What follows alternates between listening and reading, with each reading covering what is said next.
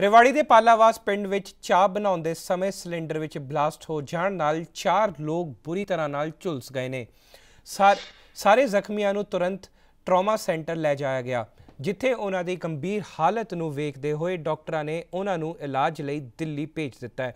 ਦਸ- ਦੱਸਿਆ ਜਾ ਰਿਹਾ ਹੈ ਕਿ ਪਾਲਾਵਾਸ ਪਿੰਡ ਵਿੱਚ ਰਹਿਣ ਵਾਲੀ ਸਵਿਤਾ ਨੇ ਸਵੇਰੇ ਜਿਵੇਂ ਹੀ ਰਸੋਈ ਦਾ ਦਰਵਾਜ਼ਾ ਖੋਲ੍ਹਿਆ ਤਾਂ ਇੱਕ ਜ਼ਬਰਦਸਤ ਧਮਾਕਾ ਹੋ ਗਿਆ। ਅਤੇ ਵੇਖਦੇ ਹੀ ਵੇਖਦੇ ਦਰਵਾਜ਼ੇ ਅਤੇ ਖਿੜਕੀ ਸਮੇਤ ਸਾਰੀਆਂ ਦੀਵਾਰਾਂ ਮਲਬੇ ਵਿੱਚ ਤਬਦੀਲ ਹੋ ਗਈਆਂ। ਸ਼ੰਕਾ ਜਤਾਈ ਜਾ ਰਹੀ ਹੈ ਕਿ ਘਰ ਵਿੱਚ ਅਖੰਡ ਜੋਤੀ ਜਲ ਰਹੀ ਸੀ ਅਤੇ ਦੂਜੇ ਪਾਸੇ ਰਸੋਈ ਵਿੱਚ ਗੈਸ ਲੀਕ ਹੋ ਰਹੀ ਸੀ। ਇਸੇ ਲਈ ਜਿਵੇਂ ਹੀ ਦਰਵਾਜ਼ਾ ਖੋਲ- ਖੋਲ੍ਹਿਆ ਗਿਆ, ਗੈਸ ਨੇ ਦੀਵਾ ਤੋਂ ਚੰਗਾਰੀ ਫੜ ਲਈ ਅਤੇ ਇਹ ਹਾਦਸਾ ਹੋ ਗਿਆ।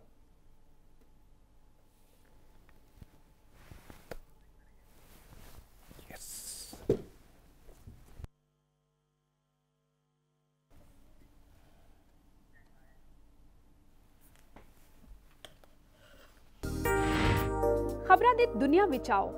ਸਾਡੇ ਨਾਲ ਕਦੇ ਵੀ ਤੇ ਕਿਤੋਂ ਵੀ ਜੁੜੋ। ਆਪਾਂ ਮਿਲਾਂਗੇ ਫੇਸਬੁੱਕ ਤੇ। ਅਸੀਂ ਦਿਖਾਂਗੇ YouTube ਤੇ।